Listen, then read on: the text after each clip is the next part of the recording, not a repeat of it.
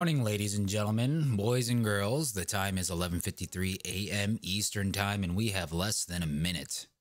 We have less than one minute. But like I said, hey, I'm here every morning. What about you? Let me guess. Not here every morning. Yikes. Just kidding. It really doesn't matter. And it's on me. It's my fault. I know. Let's see what this is all about with the time we have. You're an novice alchemist, wandering the world in search of your destiny. After a long journey, you have finally found a place to ply your trade. Found an old abandoned house on the edge of the town.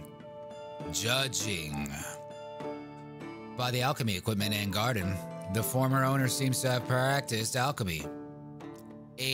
Apparently, a wizard used to live here but the layer of dust and condition, the condition of the house suggests that it has been empty for a long time. Shop opening.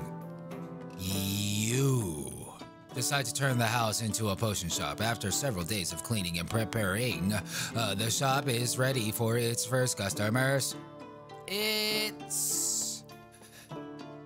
Time to remember your alchemy skills and start this new life in a new town.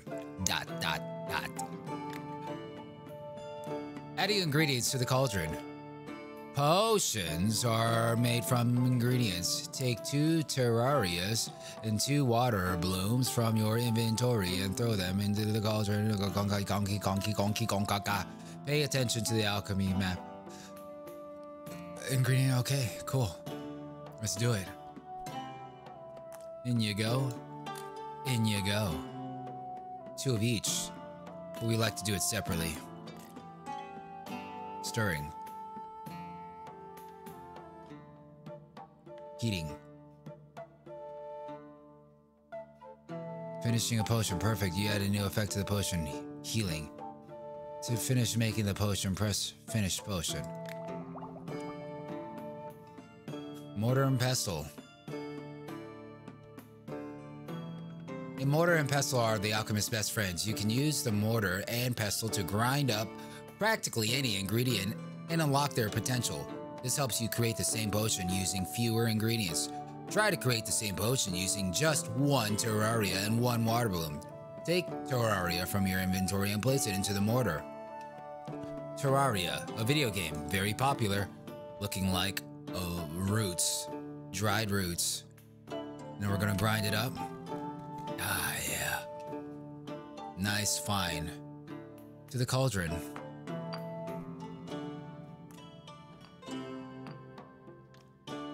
Completely grind the water bloom. See it moving in the distance.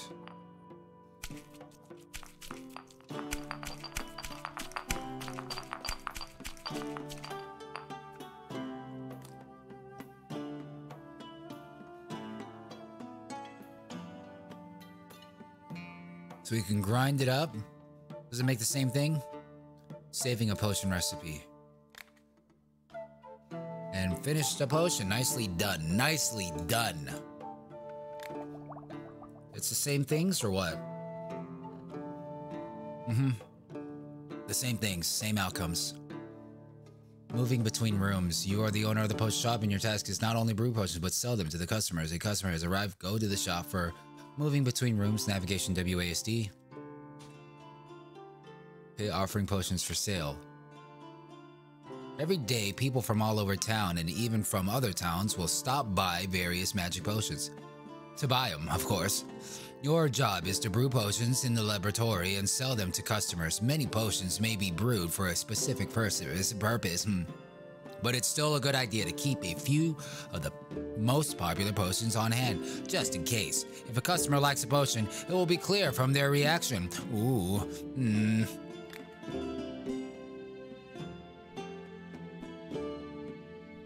One ten.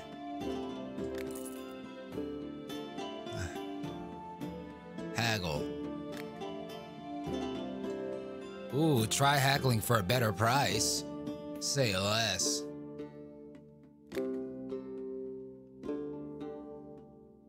What?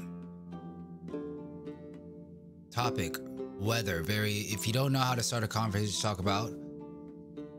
Talk about the weather. Good deal. Bad deal. Very easy. So it's rainy weather. Haggle. Haggle. What? Rain or shine. What? Rain.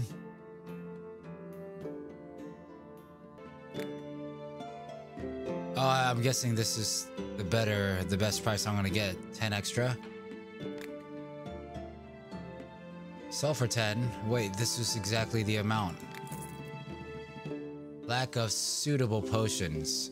You will often not have a ready-made potion for certain customers. That's okay. You can always go back to the laboratory and make a potion they need to succeed. There is no time limit, so you can focus on the recipe client will not leave. Ah. Enchanted garden. Let me grab the one of these, one of these.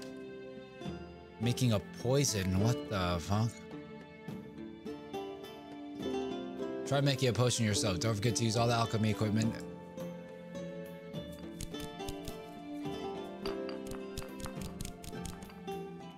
Nice ground.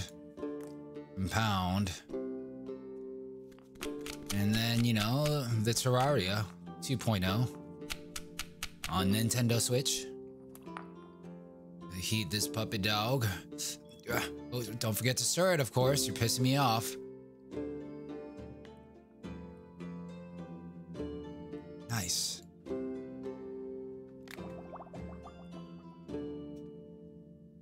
I got something for you. You're gonna like this poison and like the way you look. Let's talk about food. You like food? I love food. Uh, we got this. We got pretzels. We got we got tomato, tomatoes, tomatoes, hams, yams. Okay, well, it's kind of confusing me. I'm not sure what kind of food you like to talk about, but uh, oh, you already haggled. Sell for 15.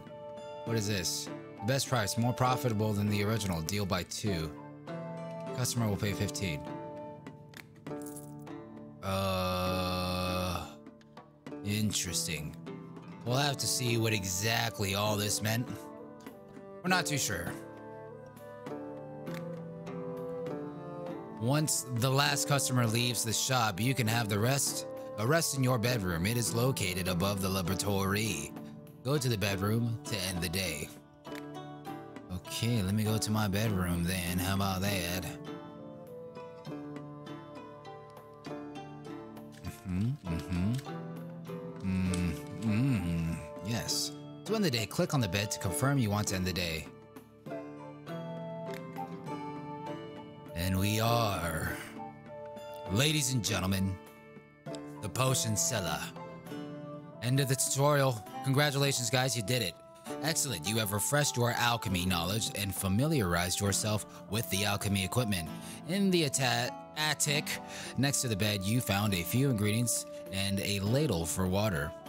This is your potion shop now, and you decide what to do next. Greet customers, chat, sell potions, haggle, and don't forget to gather ingredients from the enchanted garden and gradually explore the alchemy map. Good luck. Wow. That's gonna do it. Glad you joined me this morning. Ladies and gentlemen, the time is now 12.03 p.m. Eastern Time, January 3rd, 2023. And this was tutorial phase of potion craft. We'll be dissecting and exploring this a lot more. Will you be there? If not, don't worry, I got you with the videos. God bless Godspeed. Good games. Have a good afternoon and night. I'll see ya when I see ya.